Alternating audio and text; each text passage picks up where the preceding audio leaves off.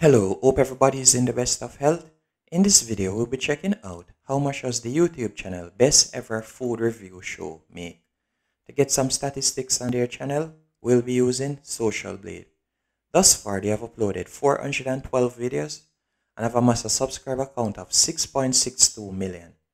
And their video views to date is 1,191,674,003 and their channel was created back in September 23rd, 2010.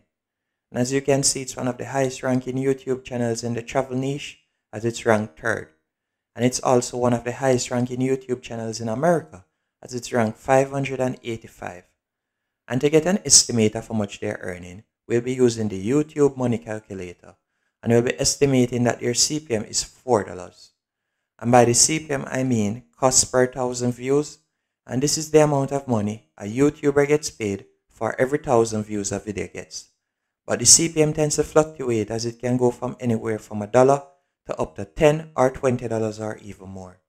As it all depends on the country that the video is being watched in, how long does a viewer end up watching an ad for, and also if the viewer ends up clicking on the ad.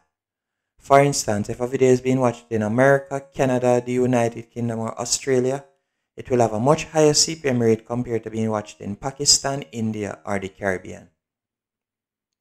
But with an estimated CPM of $4 and their daily view count being 970,000, they'll be earning $3,880 per day. But this is before YouTube takes their cut of 45%, which would leave them with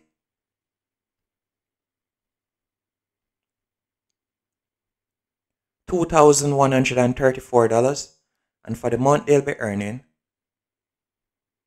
$64,020 and for the year